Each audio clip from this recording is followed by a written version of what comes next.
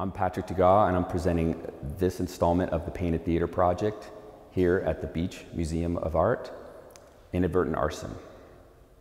It's kind of my grand play, presenting creation, destruction, uh, and preservation in the context of a story.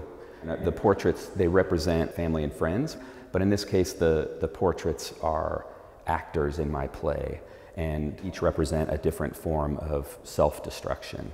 I wanted to figure out a way that I could paint a portrait that would be as alive as I could make it. And, and so that was my challenge. You'll notice in some of the paintings, my underdrawing uh, sort of seeps through the painting, and I, I do that intentionally here. I'm trying to show this polished painting, you know, a very refined painting, but then you see maybe a mistake of mine in the drawing, maybe a, you know, a more immediate drawing underneath, but it also creates that another layer.